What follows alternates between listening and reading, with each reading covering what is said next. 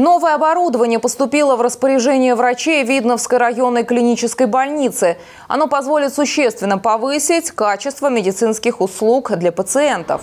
Аппарат под названием «Артроскопическая стойка» – это комплект оборудования для проведения всех видов оперативных вмешательств на суставах через микроразрезы с помощью оптики и специальных инструментов.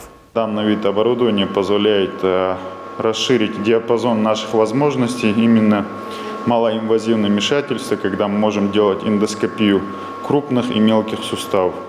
Главная характеристика нового оборудования – эргономичная и компактная конструкция. Основным элементом является артроскоп – современное оптическое устройство для проведения диагностики, лечения и минимально инвазивного операционного вмешательства на различных группах суставов. Через небольшой прокол заходит камера в сустав, причем под многократным увеличением осматривается весь сустав.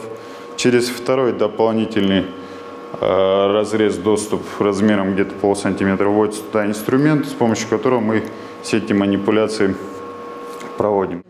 Врачи ВРКБ уже провели несколько операций на суставах и отмечают, что главное достоинство оборудования – короткий срок реабилитации после операции. Например, пациенты с повреждением коленного сустава могут вставать на ноги уже через один-два дня.